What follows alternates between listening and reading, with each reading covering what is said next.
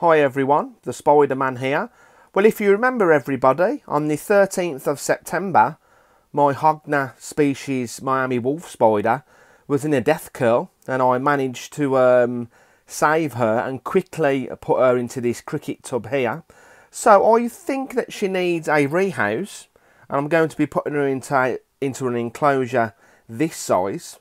And um, she's doing perfectly fine, as you can see. She's just sitting on the water dish. And uh, I gave her a feed yesterday, but uh, woke up this morning and she hasn't really eaten much of the cricket. And there is the cricket, everybody. And as I said, she's just sitting uh, on the water dish. I filled that water dish up yesterday and it's uh, evaporated already. So I'll probably put a bigger uh, water dish in and I'll take that cricket out. And as you can see, she's doing perfectly fine. Now don't forget everybody, she is a wild caught specimen. So I don't know how old she is and plus she's an adult female as well. So it could possibly, you know, she could die soon or hopefully I've got her for another couple of more years. But uh, yeah, being wild caught and being adult female, you don't know how old she is. So yeah, it's a possibility that she could die, but I'm hoping she won't. So, while I'm here everybody, let's sort out a new enclosure. So, ladies and gentlemen, there's the enclosure. So let's put some substrate in there. Don't need too much. Probably around about uh, an inch or so. And I'll use the same hide that's in the uh, cricket tub. And like I said, I'm going to get a uh, bigger water dish. There we go. That should be perfectly fine. So let's uh, put the hide in and uh, put the water dish in. So I have got a water dish and it's just a milk bottle cap.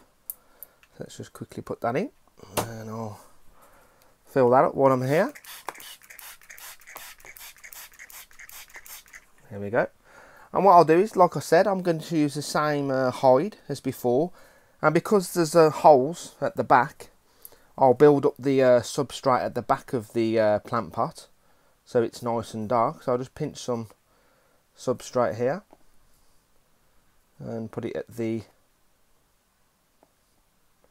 back of the enclosure so it's nice and dark and she feels safe inside there.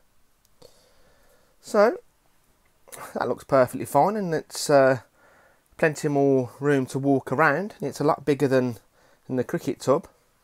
So she's not really moving around much, to be honest. As you can see, she's fairly big. She's probably around about a two inch leg span.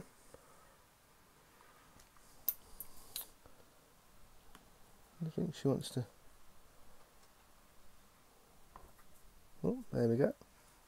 She does seem a little bit lethargic. I don't know why. But uh, like I said earlier, you know, I don't know how old she is, so she might be coming towards the end of her life. But uh, well, she still seems perfectly fine. And uh, I'm glad I put a bigger water dish in there. Stick some substrate in there. If you leave substrate in the water dish, it does actually absorb the water. So there you go everybody, nice and simple. And I'll uh, get that cricket and uh, throw it in the bin. And I'll keep that red water dish. So I hope you enjoyed this uh, rehousing video. I have one more thing everybody to show you before I say goodbye. So ladies and gentlemen, I wanted to show you a molt in my collection.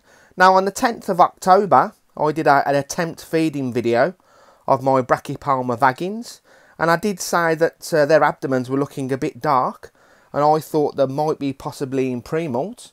So this one is freshly molted